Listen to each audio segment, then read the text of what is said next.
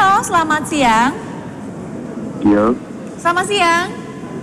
selamat siang. Aduh, suaranya laki-laki Halo. banget. Ini dengan siapa? Di mana? Dengan Ridwan di Bandung. Mas Ridwan di Bandung ya? Mas Ridwan ini katanya saya dapat informasi katanya sahabat dekatnya Saskia, betul. Buktinya apa kalau Anda sahabatnya Saskia? Dia nggak ingat ya, waktu saya sahabatnya waktu SMP. Oh, kenalnya waktu SMP? Iya. Memang memang eh, Mbak Saskia ini orangnya seperti apa? Sepengenalan kamu gitu. Eh, dia orangnya baik sih. Orangnya Aduh, ini baik. siapa ini? Ini Ridwan mana ini? Ridwan, Ridwan, Ridwan. Coba eh, ada nggak Ridwan sesuatu? Ridwan Pamungkas. Ridwan Pamung, Ridwan Pamungkas. Ah ini bohong nih, Saskia salah kali nih. Beda nih. Emang coba Ridwan supaya supaya Saskianya ingat hal-hal apa Iya, yang apa? yang spesifik apa yang mungkin bisa mengingatkan memori eh, Saskia lagi tentang Ridwan gitu. Hmm. Ridwan ini punya julukan Sigma sih. Kenapa? Yang gedean apa bang ngomongnya bus? Ya Allah.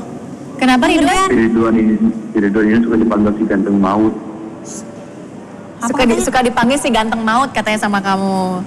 Ada nggak? Si ganteng mau. Eh, masih belum ingat terus lagi lagi lagi bongkar lagi ya mungkin sesuatu yang sifatnya lebih pribadi lagi mungkin dekat sama siapa atau hobi makannya apa atau ngefans sama siapa gitu cuma anda yang tahu Coba gitu. ada ada eh, apa namanya?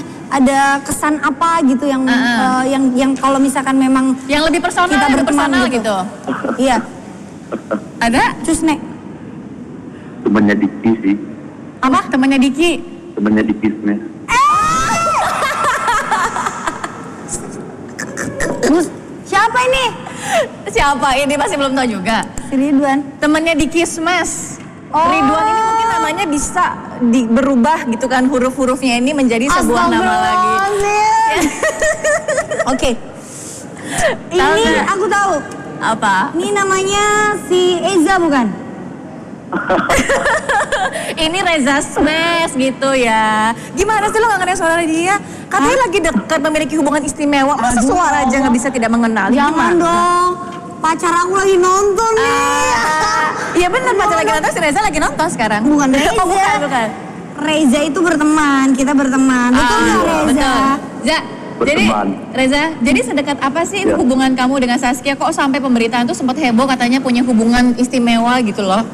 Enggak, Gak kita pernah deket sih, cuma berteman doang sih. Tuh, berteman aja Dulu gitu. sih udah lama. Iya.